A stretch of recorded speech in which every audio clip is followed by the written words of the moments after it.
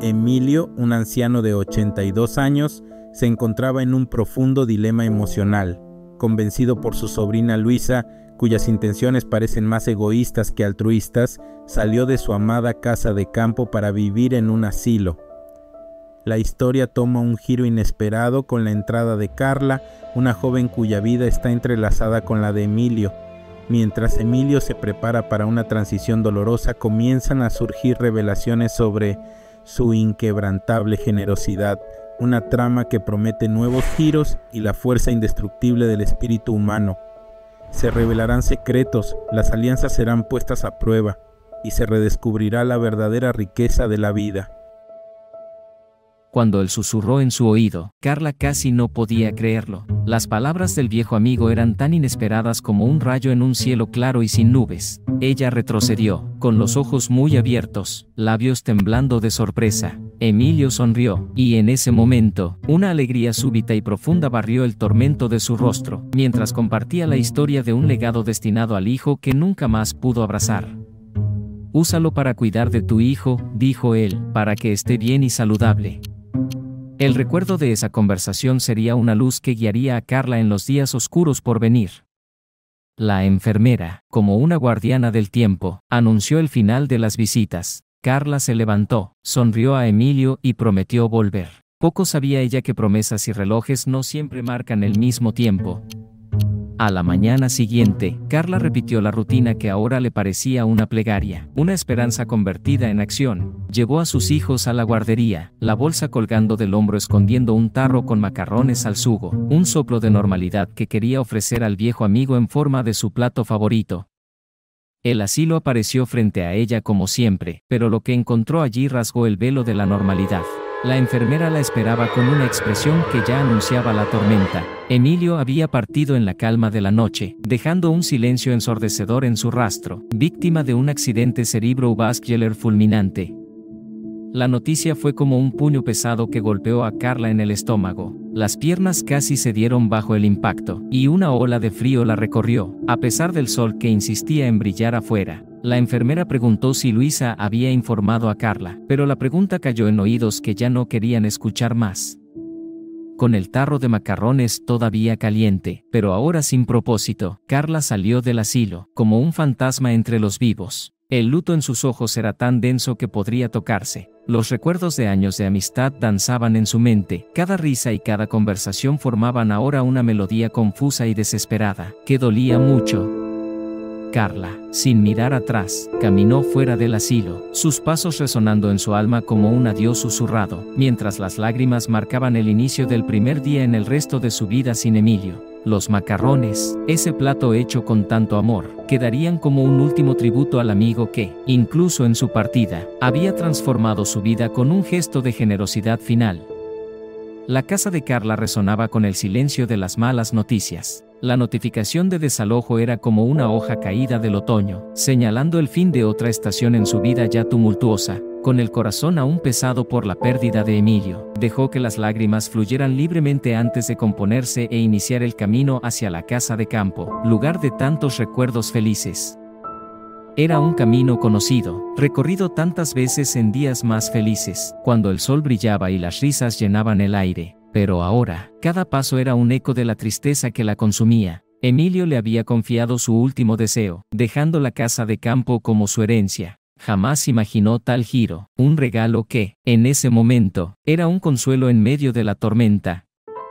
La llave estaba escondida bajo el felpudo, justo donde Emilio dijo, un hábito de un hombre que amaba la disciplina y previsibilidad tanto como sorprendía con sus actos de generosidad inesperada. Carla tomó la llave y abrió la puerta, Entró en la casa, el aire todavía cargado con el peso de los recuerdos. La sala, alguna vez llena de vida y risas, ahora yacía silenciosa, cada mue.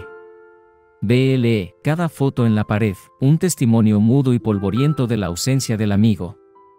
Se sentó en el sofá, un fardo de angustia y cansancio, incapaz de alejarse de los recuerdos de Emilio. Solo en sus últimos momentos, Los hijos de Carla habían encontrado en Emilio al abuelo que nunca conocieron, y la casa de campo había sido el escenario de su cariño compartido. Un sentimiento de injusticia la invadió por un instante, pero fue interrumpido por el recuerdo de las últimas palabras susurradas por Emilio, en su oído aquel día en el asilo.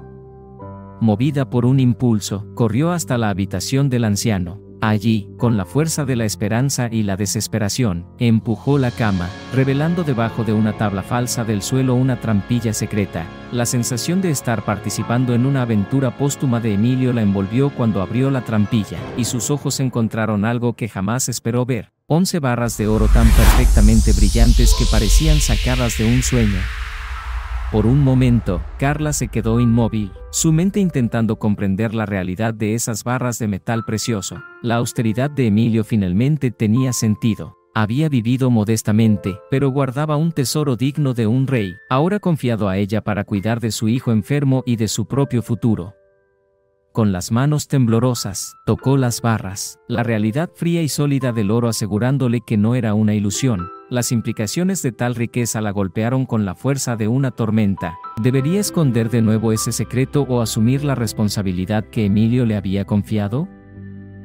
Carla actuó, sus movimientos mecánicos mientras empacaba el oro en dos cajas más seguras, su plan tomando forma con una claridad que incluso a ella la sorprendía. Dejando atrás la casa de campo, cerró la puerta con llave, sabiendo que pronto tendría que lidiar con el legado de Emilio, pero por ahora, con una determinación renovada, sabía exactamente lo que tenía que hacer.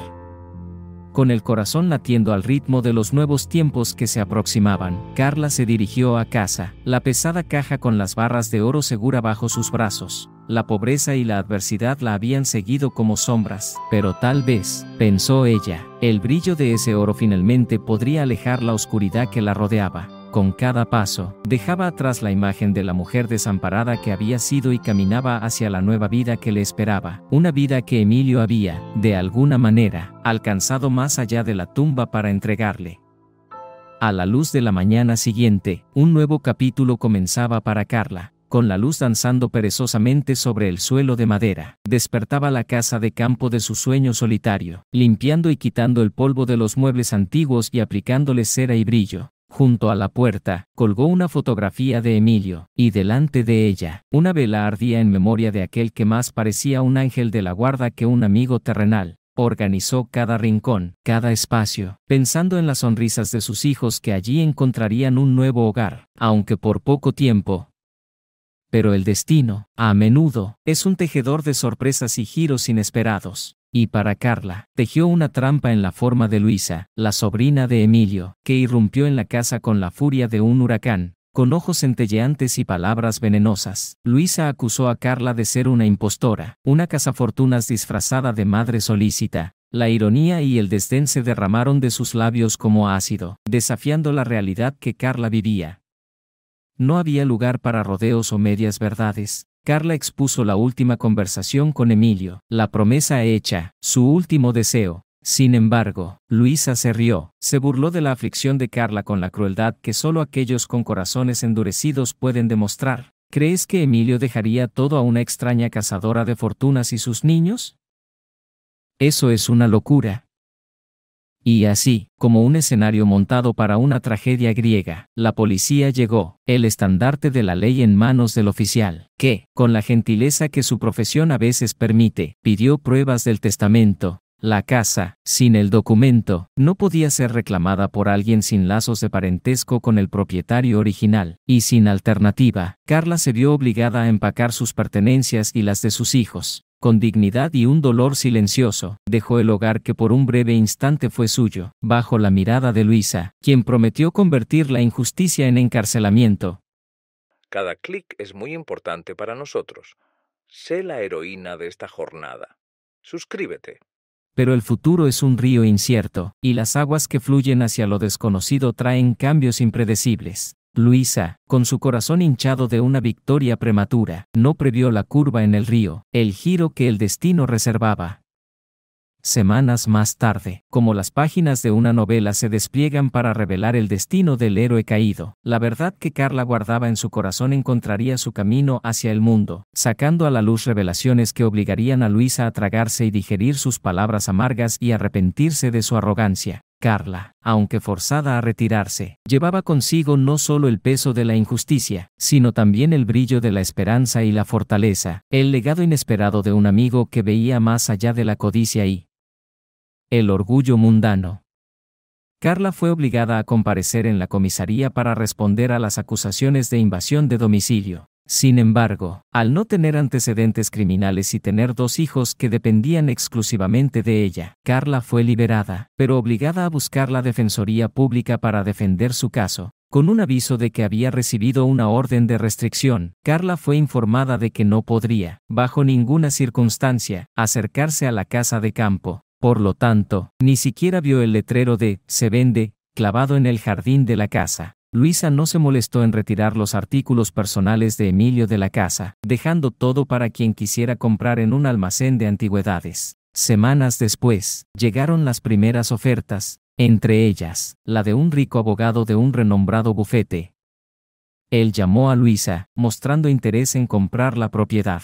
El lugar era sencillo y no muy valorado, por lo tanto, el hombre dijo que pagaría al contado como las otras ofertas implicaban pagos a plazos. Luisa aceptó en el acto y acordó que el hombre fuera a recibir las llaves del inmueble en dos semanas. La joven explicó que no podría entregar la casa de campo tan pronto, ya que aún necesitaba retirar el resto de los viejos muebles que aún estaban guardados allí. Sin embargo, Jorge, el abogado, informó que no había problema, él tenía prisa y aceptaría el lugar tal como estaba, pagando incluso una buena suma adicional por los artículos que aún estaban dentro de la propiedad.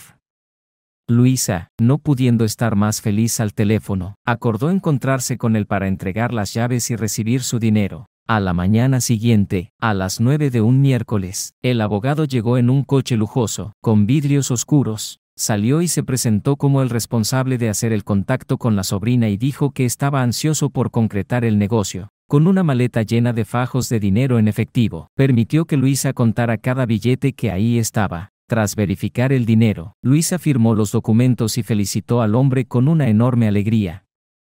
Pero el hombre, con una mirada penetrante y una expresión seria, miró a Luisa y dijo, le agradezco por todo, pero yo solo soy un abogado que vino a asegurar que todo quedara debidamente legalizado. Por lo tanto, creo que sería mejor si felicita al verdadero nuevo propietario de esta casa. Fue entonces cuando se abrió la puerta del copiloto del coche de lujo, y una mujer vestida con ropa cara e impecable salió de ahí. Luisa miró atentamente, pareciendo reconocerla de algún lugar, pero confundida y sin estar segura. Fue cuando ella se sentó a la mesa de negociaciones que Luisa no tuvo más dudas. Para su mayor shock y terror, aquella mujer era, de hecho, Carla. Esta es Carla, mi clienta y la nueva dueña de esta bucólica casa de campo. Ahora, si no le importa, ¿podría, por favor, entregarle las llaves a ella? Luisa simplemente no podía moverse, tan impactada estaba, se sentía humillada, al mismo tiempo que coaccionada y completamente confundida. Con mucha rabia en su mirada, Luisa entregó las llaves y la escritura de la casa. Simplemente no podía creer lo que estaba sucediendo ante sus ojos en ese instante. Carla, entonces, dijo lo que había querido decir desde hace mucho tiempo. Nunca te importaron los verdaderos deseos de tu tío, solo lo que él podía generarte a ti, y por tu culpa, él falleció solo y abandonado en ese asilo barato. Convivir con esa culpa no será fácil. Siento pena por ti por no haber querido conocer a la persona increíble que era, pero al mismo tiempo, me alivia que él no haya convivido contigo. Por cierto, estoy feliz de haber conocido a mi abogado. Pronto presentaremos una demanda contra ti por maltrato y negligencia. Prepárate para perder el dinero que acabas de recibir, y un poco más. Nos veremos en el tribunal. Ahora, por favor, me gustaría verte fuera de mi propiedad de inmediato. Y así fue como Carla se despidió de Luisa ese día, cerrando la puerta de su nueva casa, mientras miraba los ojos furiosos de ella. Carla prometió honrar la casa de campo que Emilio y su esposa habían dedicado tanto tiempo a construir y le dijo al abogado que criaría a sus hijos con orgullo en ese lugar. Rápidamente acomodó algunos muebles y reencendió la vela debajo de la foto de Emilio y, esa noche, tuvo un sueño tranquilo como no había tenido en años, sabiendo que los deseos de su viejo y fallecido amigo finalmente se habían concretado y su historia ahora comenzaba un nuevo capítulo. Con abundante riqueza y bajo un techo muy especial y lleno de propósito y cariño, en memoria de su querido Emilio,